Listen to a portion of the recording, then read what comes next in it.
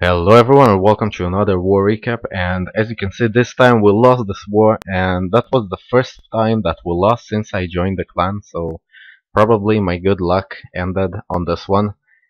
So let's see the stats of each clan. We currently have 162 wins and they have 165 so they had like three more wins than than we do so they probably lost the war after us. So I also promised you that I'm gonna show you bases we had troubles with. So I think we didn't 3-star one of the Town Hall 9s and as you can see number 17 we had 4 attacks on him until we 3-starred and number 23. So let's remember that 17 and 23 and then I'm gonna show you. So that's what they've done. They pretty much 3-starred all of our Town Hall 9s on the first attack. Except for this one maybe and that's what they've done. So we had five town hall 10s and they had the town hall 10 advantage of two more town hall 10s and I think that was the reason that they won. I think that with the same amount of town hall 10s we would win this war because I think we attacked better eventually. We had a bad start but eventually we attacked better. So we said number 23 let's see the base So this is the base. Looks pretty solid. If you want to try it, go ahead and let me know in the comments in few days, weeks. I don't know if it works for you. So, so I promise that I'm gonna show in the war recap spaces we had trouble with. So those are free. That they're not ours, and I really don't mind showing that because I don't know this clan anyway. So feel free using those bases and this is 17 we we had four attacks on it. To three star it. It looks pretty solid. I think that the air defenses are not in a, in a too good location and I think you can three star it pretty easily with hogs. So so if we had troubles with some base it doesn't mean it's a good base. But go ahead and try it. If you have a, if you have a horrible base and you need a change just try those and let me know how it works for you. So we're gonna have two parts in this war because there are so many good attacks. And in this one we're, we're gonna have one Town Hall 8 attack, one Town Hall 10 attack and two Town Hall 9 attacks. And in the next one we're gonna have four Town Hall 9 attacks. And I'm all, I've also released separate videos, at least two or three are, are, already out from this war. And they're, they're not gonna be in the war recaps because I don't want to show you the same stuff in two videos. So this is the first one. It's gonna be a go a hog attack. I don't know what he got in the clan castle. Might be a golem, but I think it's just hogs from what I remember. So he's luring the clan castle troops with some hogs and now taking them out with witches and hogs. And now he's gonna start the hog attack. As you can see, this base got only two possible locations for double giant bombs. One is over here that he detonated together with luring the clan castle troops, and the next one is gonna be here.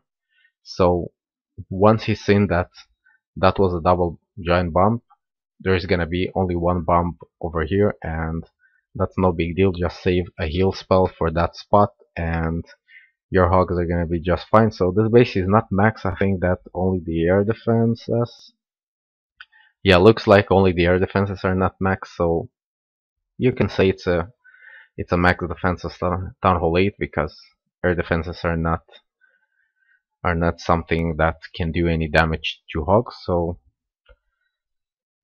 so now he's dropping the heal spell exactly in the place where the hogs are going to go, and this base is down. And let's get it faster so you can see it's a three star. So three more attacks to show in this video and make sure you stay tuned for part 2 there, there's gonna be great attacks on it and this is a great 3 star by Danny. So let's go to our next attack and it's gonna be number let's decide which one. Let's go for number 14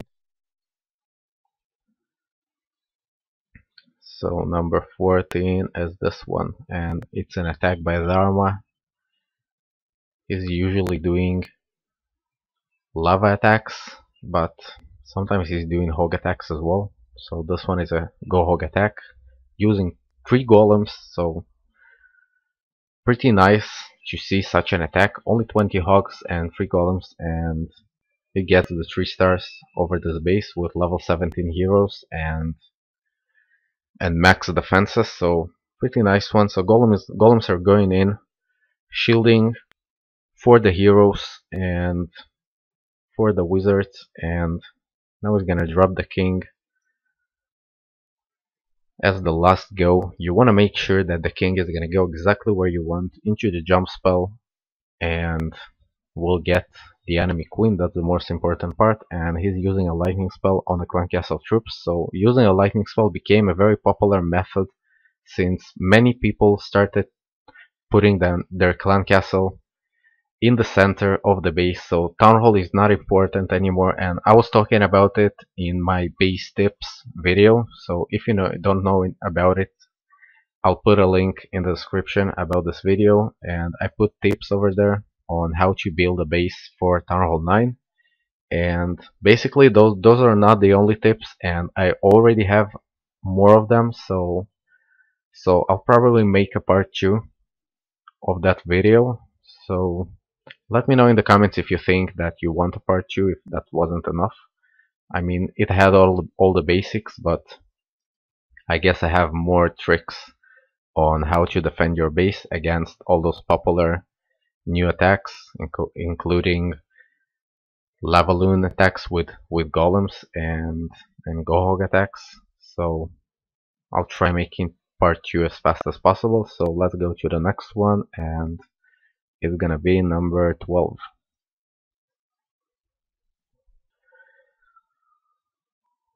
So he's using few hogs in the beginning to lure the clan castle troops and take it out that cannon as well.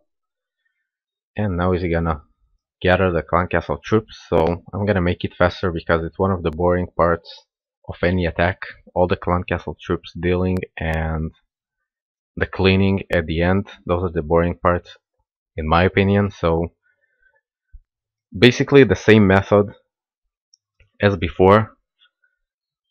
Golems are dropped, wizards and witches are cleaning the buildings from behind, and king is sent last with a jump spell which gets right into the queen section. So this base is a known internet base, it's called Popular Chinese Base, and I have a video on it with this attack exactly, and Dharma was the one who is doing it. So he's a pro with attacking this base.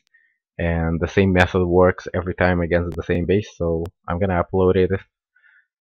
Not this attack but another attack which is pretty much exactly the same.